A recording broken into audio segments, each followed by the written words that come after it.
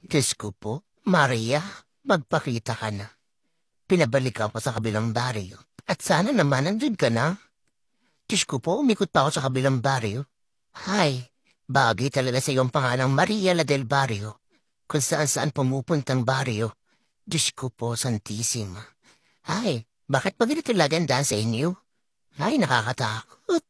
Buti na naman niyo po. Aray ko. Ah, ah, aray, smith. Nasagatan niya ako. Diyos ko po, sakit. Buti na lang nakakapit ako. Ay, blood is life. Alright.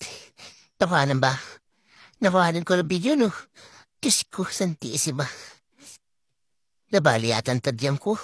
Diyos ko, ang sakit. Ay, ano TikTok? Masaya ka na? Ito ang gusto mo, di ba? Ay, sana ba tayo? Pogi, wala iba bang bahay ni Maria? Pagod na ako. Ang sakit ng pa ako. Diyos ko po, anong klaseng daan ito? Diyos me, yung mga batang ito. Baka naman nililigawan ninyo ako. Saan ba tayo? Ano yan? Aakit ako sa puno? Diyos ko po, maawa naman kayo sa akin. Diyos mio, ako pa lang yata ang delivery rider ang malalaglag dito. Diyos ko po. Ay. Teka, teka. May tumatawag.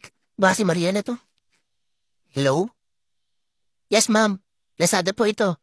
Ma'am Maria, diretso lang po ba? Kasi sabi nung mama nyo, eh, dun daw ako sa kabilang bari pumunta. Nandiyan po ba kayo, ma'am? Teka na, ma'am. Matatawid lang ako saglit. Tuots ko pa baka malaglag ako.